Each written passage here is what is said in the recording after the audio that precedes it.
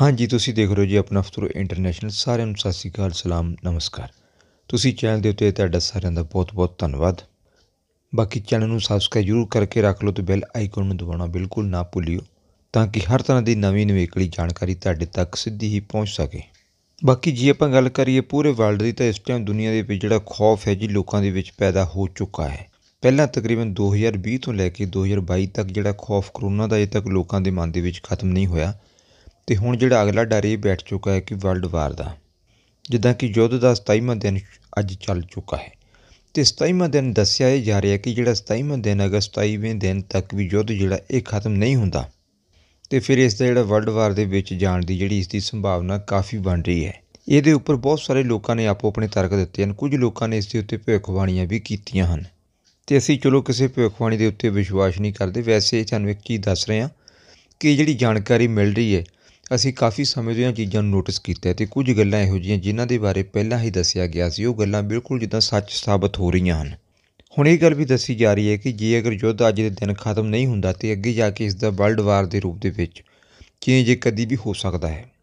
ਹੁਣ ਇਸੇ ਚੀਜ਼ ਦੇ ਡਰ ਆਪਾਂ ਕਹਿ ਸਕਦੇ ਹਾਂ ਕਿ ਇਸ ਟਾਈਮ ਜਿਹੜਾ ਫਰਾਂਸ ਦੇ ਵਿੱਚ ਇੱਕ ਇਹੋ ਜਿਹੀ ਚੀਜ਼ ਬਣਾਈ ਜਾ ਰਹੀ ਹੈ ਜਿਹਨੂੰ ਆਪਾਂ ਐਂਟੀ ਐਟੋਮਿਕ ਸ਼ੈਲਟਰ ਵੀ ਕਹਿ ਸਕਦੇ ਹਾਂ।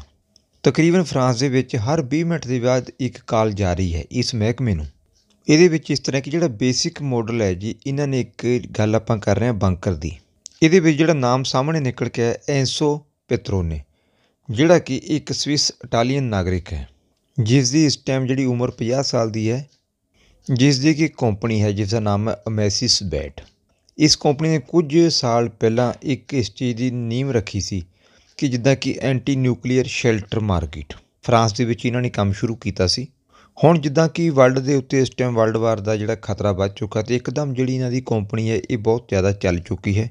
ਹਰ 20 ਮਿੰਟ ਦੇ ਵਿੱਚ ਇਹਨਾਂ ਨੂੰ ਇੱਕ ਕਾਲ ਜਿਹੜੀ ਆ ਰਹੀ ਹੈ ਫਰਾਂਸ ਦੇ ਲੋਕਾਂ ਦੇ ਵੱਲੋਂ। ਉਹਦੇ ਵਿੱਚ ਇਹਨਾਂ ਨੂੰ ਇਹ ਪੁੱਛਿਆ ਜਾ ਰਿਹਾ ਕਿ ਲੋਕ ਆਪਣੇ ਘਰ ਦੇ ਵਿੱਚ ਜਿਹੜਾ ਬੰਕਰ ਐਂਟੀ ਜਿੱਦਾਂ ਐਟੋਮਿਕ ਸ਼ੈਲਟਰ ਬਣਾਉਣਾ ਚਾਹੁੰਦੇ ਹਨ, ਜਿਹਦੇ ਉੱਤੇ ਕਿ ਐਟਮ ਬੰਬ ਦਾ ਵੀ ਅਸਰ ਨਾ ਹੋਵੇ। ਕਿਉਂਕਿ ਲੋਕਾਂ ਦੇ ਮਨਾਂ ਦੇ ਵਿੱਚ ਇੱਕ ਡਰ ਜਿਹੜਾ ਬੈਠ ਚੁੱਕਾ ਹੈ ਕਿ ਆਉਣ ਵਾਲੇ ਸਮੇਂ ਦੇ ਵਿੱਚ ਪਤਾ ਨਹੀਂ ਕੀ ਹੋ ਜਾਵੇਗਾ। ਇੱਥੇ ਤੁਹਾਨੂੰ ਇਹ ਵੀ ਦੱਸ ਦਈਏ ਕਿ ਜੇ ਬੇਸਿਕ ਮੋਡਲੀ ਇਸ ਤਰ੍ਹਾਂ ਦਾ ਕਿਸੇ ਨੇ ਬੰਕਰ ਵਗੈਰਾ ਬਣਾਉਣਾ ਹੈ, ਜਿਹੜਾ ਐਂਟੀਟੋਮਿਕ ਸ਼ੈਲਟਰ ਹੈ, ਤੇ ਇਹਦੇ ਵਾਸਤੇ ਜਿਹੜਾ ਖਰਚਾ ਵੀ ਦੇਣਾ ਪਵੇਗਾ, ਖਰਚਾ ਜਿਹੜਾ ਇਸ ਦਾ ਤਕਰੀਬਨ 80000 ਯੂਰੋ ਜਿਹੜਾ ਹੈ ਜੀ, ਖਰਚਾ ਇਸ ਦਾ ਪੈਂਦਾ ਹੈ। ਬਾਕੀ ਤੁਹਾਡੀ ਜਾਣਕਾਰੀ ਵਾਸਤੇ ਇਹ ਵੀ ਦੱਸ ਦਈਏ ਕਿ ਤਕਰੀਬਨ ਜਿਹੜਾ ਸਵਿਟਜ਼ਰਲੈਂਡ ਇੱਕ ਇਹੋ ਜਿਹਾ ਦੇਸ਼ ਹੈ, ਜਿਹਦੇ ਵਿੱਚ ਤਕਰੀਬਨ 3 ਲੱਖ 60 ਹਜ਼ਾਰ ਜਿਹੜੇ ਬੰਕਰ ਪਹਿਲਾਂ ਹੀ ਉਹਨਾਂ ਨੇ ਬਣਾ ਕੇ ਰੱਖੇ ਹੋਏ ਹਨ।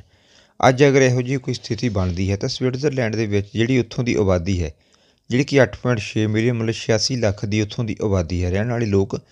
ਤੇ ਉਹਨਾਂ ਦੇ ਕੋਲ ਜਿੰਨੇ ਵੀ ਇਸ ਟਾਈਮ ਬੰਕਰ ਹਨ, ਉਹਦੇ ਵਿੱਚ 90 ਲੱਖ ਬੰਦਾ ਜਿਹੜਾ ਹੈ ਜੀ, ਉਹਨਾਂ ਨੇ ਆਪਣੀ ਕਪੈਸਿਟੀ ਬਣਾ ਕੇ ਰੱਖੀ ਮਤਲਬ ਪੂਰੀ ਜਿਹੜੀ ਪੋਪੂਲੇਸ਼ਨ ਹੈ ਸਵਿਟਜ਼ਰਲੈਂਡ ਦੀ, ਉਹ ਸਾਰੀ ਬੰਕਰਾਂ ਦੇ ਵਿੱਚ ਜਾ ਕੇ ਰਹਿ ਸਕਦੀ ਹੈ। ਬਾਕੀ ਆਉਣ ਵਾਲੇ ਸਮੇਂ ਦੇ ਵਿੱਚ ਜਿੱਦਾਂ ਕਿ ਹੋ ਸਕਦਾ ਇਹੋ ਜਿਹਾ ਕੰਮ ਵੀ ਹੋ ਜਾਵੇ ਕਿ ਲੋਕ ਜਿੱਦਾਂ ਆਪਣਾ ਨਵਾਂ ਘਰ ਬਣਾਉਣਗੇ, ਤੇ ਜਿਹੜਾ ਐਂਟੀ ਬੰਕਰ ਜਿੱਦਾਂ ਐਂਟੀ ਨਿਊਕਲੀਅਰ ਐਟੋਮਿਕ ਜਿਹੜਾ ਇਸ ਤਰ੍ਹਾਂ ਦਾ ਜਿਹੜਾ ਸ਼ੈਲਟਰ ਹੈ ਉਹ ਹੋ ਸਕਦਾ ਕਿ ਉਹ ਬਣਾਉਣਾ ਲੋਕਾਂ ਦੇ ਵਾਸਤੇ ਜ਼ਰੂਰੀ ਹੋ ਜਾਵੇ। ਬਾਕੀ ਜਿਹੜਾ ਸਵਿਟਜ਼ਰਲੈਂਡ ਦੇ ਵਿੱਚ ਉਹਨਾਂ ਨੇ ਕੰਮ ਕੀਤਾ, ਆਪਾਂ ਇਹਨਾਂ ਨੂੰ ਕਹਿ ਸਕਦੇ ਹਾਂ ਕਿ ਇਹਨਾਂ ਦੀ ਇੱਕ ਦੂਰ ਅੰਦੇਸ਼ੀ ਹੈ, ਜਿਹੜਾ ਕਿ ਇਹਨਾਂ ਨੇ ਆਉਣ ਵਾਲੇ ਸਮੇਂ ਨੂੰ ਮੁੱਖ ਰੱਖ ਕੇ ਇਹੋ ਜਿਹੜੀ ਸਥਿਤੀ ਨੂੰ ਪਹਿਲਾਂ ਹੀ ਭਾਂਪ ਲਿਆ ਸੀ ਤੇ ਇਹਨਾਂ ਨੇ ਜਿਹੜਾ ਆਪਣਾ ਇੱਕ ਸਿਸਟਮ ਬਣਾ ਕੇ ਰੱਖਿਆ ਹੋਇਆ ਹੈ, ਜਿਹਦੇ ਵਿੱਚ ਜਿਹੜੀ ਇਹਨਾਂ ਦੀ ਆਬਾਦੀ ਹੈ ਜੋ ਸੇਫ ਰਹਿ ਸਕਦੀ ਹੈ।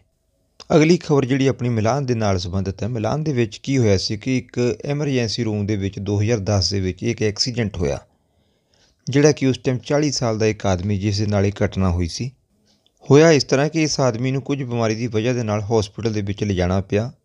ਜਦੋਂ ਇਸ ਆਦਮੀ ਨੂੰ ਸਟ੍ਰੈਚਰ ਦੇ ਉੱਤੇ ਰੱਖਿਆ ਗਿਆ ਸੀ, ਤਾਂ ਬਾਅਦ ਵਿੱਚ ਕੀ ਹੋਇਆ ਕਿ ਇਹ ਆਦਮੀ ਬੇਹੋਸ਼ ਹੋਣ ਦੀ ਵਜ੍ਹਾ ਦੇ ਨਾਲ ਅਚਾਨਕ ਹੀ ਜਾਂ ਤੁਸੀਂ ਕਹਿ ਲਓ ਕਿ ਗਲਤੀ ਉਹਨਾਂ ਦੀ ਕਿ ਉਹਨਾਂ ਨੇ ਚੰਗੀ ਤਰ੍ਹਾਂ ਦੇ ਨਾਲ ਇਹਨਾਂ ਨੂੰ ਬੰਨਿਆ ਨਹੀਂ ਹੋਇਆ ਸੀ, ਤੇ ਸਟ੍ਰੈਚਰ ਤੋਂ ਇਹ ਆਦਮੀ ਜਿਹੜਾ ਥੱਲੇ ਡਿੱਗਦਾ ਹੈ, ਜਿਸ ਦੇ ਨਾਲ ਇਸ ਸ਼ਖਸ 40 ਸਾਲਾ ਸ਼ਖਸ ਦੇ ਸਿਰ ਦੇ ਵਿੱਚ ਸੱਟ ਲੱਗਦੀ ਹੈ, ਤੇ ਉਸ ਤੋਂ ਬਾਅਦ ਜਿਹੜੀ ਆਦਮੀ ਸੀ, ਇਹ ਕੋਮਾ ਦੇ ਵਿੱਚ ਚਲਾ ਜਾਂਦਾ ਹੈ। ਕੋਮਾ ਦੇ ਵਿੱਚ ਜਾਣ ਤੋਂ 3 ਸਾਲ ਬਾਅਦ ਇਸ ਆਦਮੀ ਦੀ ਜਿਹੜੀ ਡੈਥ ਹੋ ਜਾਂਦੀ ਹੈ। ਹੁਣ ਜਾ ਕੇ ਜਿਹੜਾ ਇਸ ਕੇਸ ਦਾ ਜਿਹੜਾ ਫੈਸਲਾ ਆਇਆ ਤੇ ਇਹਦੇ ਵਿੱਚ ਜਿਹੜਾ ਕੰਪਨਸੇਸ਼ਨ ਦਿੱਤਾ ਗਿਆ ਹੈ, ਮਤਲਬ ਮੁਆਵਜ਼ਾ ਦਿੱਤਾ ਗਿਆ ਹੈ ਪਰਿਵਾਰ ਦੇ ਮੈਂਬਰਾਂ ਨੂੰ। ਕਿੰਨਾ ਪੈਸਾ ਦਿੱਤਾ ਗਿਆ? 7 ਲੱਖ ਯੂਰੋ ਜਿਹੜਾ ਹੈ ਜੀ ਮੁਆਵਜ਼ੇ ਦੇ ਤੌਰ ਤੇ ਦਿੱਤਾ ਗਿਆ ਹੈ। ਨੈਕਸਟ ਖਬਰ ਜਾਣ ਤੋਂ ਪਹਿਲਾਂ ਤੁਹਾਨੂੰ ਅੱਜ ਦੇ ਜਿਹੜੇ ਕੇਸ ਹਨ ਉਹ ਵੀ ਦੱਸੀ। ਅੱਜ ਦੇ ਜਿਹੜੇ ਕੇਸ ਹਨ ਜੀ ਘਟ ਆਏ ਹਨ 32577 ਕੇਸ ਨਵਾਂ ਆਇਆ ਹੈ। ਬਹੁਤ ਹੀ ਵਧੀਆ ਗੱਲ ਹੈ, ਬੜੀ ਦੇਰ ਬਾਅਦ ਜਿਹੜੇ ਇੰਨੇ ਘੱਟ ਕੇਸ ਆਏ ਹਨ ਤੇ 119 ਲੋਕਾਂ ਦੀ ਡੈਥ ਵੀ ਹੋਈ ਹੈ। ਇਸ ਤੋਂ ਇਲਾਵਾ ਜਿਹੜੀ ਸਟੇਟ ਆਫ ਐਮਰਜੈਂਸੀ 31 ਮਾਰਚ ਨੂੰ ਖਤਮ ਹੋ ਰਹੀ ਹੈ। ਬਾਕੀ ਇਸ ਤੋਂ ਇਲਾਵਾ ਜਿਹੜੀ ਪਹਿਲੀ ਅਪ੍ਰੈਲ ਹੋਏਗੀ, ਪਹਿਲੀ ਅਪ੍ਰੈਲ ਨੂੰ ਕੀ ਹੋਏਗਾ ਕਿ ਇੱਕ ਤਾਂ ਜਿਹੜਾ ਪਹਿਲੀ ਅਪ੍ਰੈਲ ਨੂੰ 50 ਸਾਲ ਜਾਂ ਇਸ ਤੋਂ ਉੱਪਰ ਵਾਲੇ ਲੋਕਾਂ ਦੇ ਵਾਸਤੇ ਇੱਕ ਗੁੱਡ ਫੈਸਲਾ ਜਿਹੜਾ ਸਰਕਾਰ ਨੇ ਕੀਤਾ ਹੈ।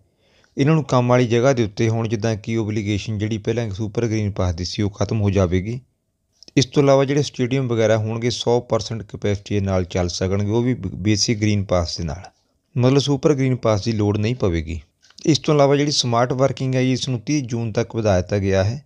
ਬਾਕੀ ਇਸ ਤੋਂ ਇਲਾਵਾ ਪਹਿਲੀ ਮਈ ਤੋਂ ਜਿੱਦਾਂ ਕਿ ਮਾਸਕ ਜਿਹੜੇ ਅਵੇਲੇਬਲ ਹੋਣਗੇ, ਜਿੱਦਾਂ ਕਿ ਇਨਡੋਰ ਦੇ ਵਾਸਤੇ।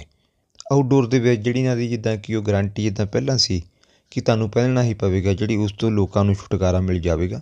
ਬਾਕੀ ਜਿਹੜੇ ਲੋਕ ਫੈਕਟਰੀਆਂ ਵਗੈਰਾ ਦੇ ਵਿੱਚ ਜਾਂ ਕੰਪਨੀਆਂ ਵਗੈਰਾ ਦੇ ਵਿੱਚ ਕੰਮ ਕਰਦੇ ਨੇ, ਉਹਨਾਂ ਦੇ ਵਾਸਤੇ ਆਪਾਂ ਇਸ ਨੂੰ ਗੁੱਡ ਨਿਊਜ਼ ਕਹਿ ਸਕਦੇ ਹਾਂ ਕਿ ਦਰਾਗੀ ਸਰਕਾਰ, ਜਿਹੜੀ ਇਟਲੀ ਦਰਾਗੀ ਸਰਕਾਰ ਹੈ, ਜਿਨ੍ਹਾਂ ਨੇ ਇੱਕ ਜਿਹੜਾ ਨਵਾਂ ਬਿੱਲ ਪਾਸ ਕੀਤਾ ਹੈ। ਜਿਹੜਾ ਨਵਾਂ ਡਿਕਰੇਟੋ ਹੈ ਜੀ ਗੌਰਮੈਂਟ ਦੇ ਵੱਲੋਂ ਪਾਸ ਹੋ ਚੁੱਕਾ ਹੈ ਇਸ ਨੂੰ ਆਪਾਂ ਇੱਕ ਬੋਨਸ ਵੀ ਕਹਿ ਸਕਦੇ ਹਾਂ 200 ਐਰੋ ਦਾ ਬੋਨਸ ਵਰਕਰਾਂ ਦੇ ਵਾਸਤੇ, ਜਿਹੜੇ ਕਿ ਪੈਟਰੋਲ ਦੀ ਵਰਤੋਂ ਕਰਦੇ ਹਨ। ਹੁਣ ਇਹਦੇ ਵਿੱਚ ਇਹਨਾਂ ਨੇ ਡੀਜ਼ਲ ਦਾ ਨਾਮ ਨਹੀਂ ਲਿਆ, ਇਹਨਾਂ ਨੇ ਸਪੈਸ਼ਲ ਜਿਹੜਾ ਗੈਸੋਲੀਨ ਹੈ ਜੀ ਉਸ ਦਾ ਨਾਮ ਲਿਆ ਹੈ। ਇਹ 200 ਯੂਰੋ ਜਿਹੜਾ ਹੋਏਗਾ, ਕੰਪਨੀਆਂ ਸਿੱਧੇ ਤੌਰ ਤੇ ਜਿਹੜੀਆਂ ਦੇਣਗੀਆਂ, ਜਿਹੜੀ ਜਾਣਕਾਰੀ ਨਿਕਲ ਕੇ ਸਾਹਮਣੇ ਆਈ, ਉਹਦੇ ਵਿੱਚ ਇਹ ਦੱਸਿਆ ਗਿਆ ਕਿ ਇਹ ਜਿਹੜਾ 200 ਯੂਰੋ ਹੋਏਗਾ, ਪੂਰੇ ਸਾਲ ਦੇ ਵਾਸਤੇ ਜਿੱਦਾਂ ਕਿ ਹੋਵੇਗਾ ਇੱਕ ਤਰ੍ਹਾਂ ਦੇ ਪੈਟਰੋਲ ਵਾਊਚਰ ਹੋਣਗੇ ਜਿਹੜੇ ਕੰਪਨੀਆਂ ਆਪਣੇ EMPLOYEES ਨੂੰ ਪ੍ਰੋਵਾਈਡ ਕਰਨਗੀਆਂ। ਬਾਕੀ ਇਹ ਇੱਕ ਬੋਨਸ ਨਹੀਂ, ਆਪਾਂ ਇਸ ਨੂੰ ਕਹਿ ਸਕਦੇ ਬੋਨਸ ਅਗਰ ਹੁੰਦਾ ਤਾਂ ਤੁਹਾਨੂੰ ਉਸ ਦੇ ਵਾਸਤੇ ਦਮਾਂਦਾ ਕਰਨਾ ਪੈਂਦਾ ਇਹ ਇੱਕ ਤਰ੍ਹਾਂ ਦੇ ਵਾਊਚਰ ਹੋਣਗੇ ਜਾਂ ਤੁਸੀਂ ਇਸ ਨੂੰ ਇਨਸੈਂਟਿਵ ਵੀ ਕਹਿ ਸਕਦੇ ਹੋ। ਬਾਕੀ ਇਹ ਜਿਹੜੇ ਵਾਊਚਰ ਕੰਮ ਕਿਸ ਤਰ੍ਹਾਂ ਕਰਨਗੇ, ਇਹਦੇ ਵਿੱਚ ਇਸ ਤਰ੍ਹਾਂ ਜਿੱਦਾਂ ਕਿ ਦੱਸਿਆ ਜਾ ਰਿਹਾ ਹੈ ਕਿ ਇਹਦੇ ਵਿੱਚ 25 ਸੈਂਟ ਜਿੱਦਾਂ ਕੀਮਤ ਤੁਹਾਨੂੰ ਘੱਟ ਦੇਣੀ ਪਵੇਗੀ, ਪੈਟਰੋਲ ਜਾਂ ਡੀਜ਼ਲ ਦੇ ਉੱਪਰ। ਹੁਣ ਮੰਨ ਲਓ ਕਿ ਤੁਹਾਡੇ ਕੋਲ 200 ਯੂਰੋ ਦਾ ਜਿਹੜਾ ਵਾਊਚਰ ਆ ਜਾਂਦਾ ਹੈ ਅਤੇ ਜਦੋਂ ਤੁਸੀਂ ਇੱਕ ਲੀਟਰ ਪੈਟਰੋਲ ਪੈਟਰੋਲ ਪੰਪ ਤੇ ਜਾ ਕੇ ਭਰਾਉਂਦੇ ਹੋ, ਤਾਂ ਜਦੋਂ ਤੁਸੀਂ ਵਾਊਚਰ ਦਾ ਨੰਬਰ ਵਗੈਰਾ ਦਿੰਦੇ ਹੋ, ਉਹਦੇ ਨਾਲ ਮੰਨ ਲਓ ਕਿ ਇਸ 2 ਯੂਰੋ ਨੂੰ ਜਿਹੜਾ ਰੇਟ ਉੱਥੇ ਚੱਲ ਰਿਹਾ, ਤਾਂ ਤੁਹਾਨੂੰ ਜਿਹੜੇ 1 ਯੂਰੋ ਅਤੇ 75 ਸੈਂਟ ਦੇਣੇ ਪੈਣਗੇ, ਮਤਲਬ ਤੁਹਾਨੂੰ 25 ਪੈਸੇ ਦੀ ਜਿਹੜੀ ਬਚਤ ਹੋਏਗੀ। ਇਸ ਤਰ੍ਹਾਂ ਜੇ ਆਪਾਂ 200 ਯੂਰੋ ਦਾ ਦੇਖੀਏ ਵਾਊਚਰ ਤੇ ਜੇ ਆਪਾਂ 25 ਸੈਂਟ 1 ਲੀਟਰ ਦੇ ਪਿੱਛੇ ਦੇਖਦੇ ਹਾਂ ਕਿ ਬਚਤ ਹੁੰਦੀ, ਤਾਂ 800 ਲੀਟਰ ਤੇਲ ਆਪਾਂ ਗੱਡੀ ਦੇ ਵਿੱਚ ਪਵਾ ਸਕਦੇ ਹਾਂ। ਉਸ ਦੇ ਉੱਤੇ ਆਪਾਂ ਨੂੰ 200 ਯੂਰੋ ਦੀ ਸਿੱਧੀ ਸਿੱਧੀ ਬਚਤ ਹੋ ਜਾਵੇਗੀ।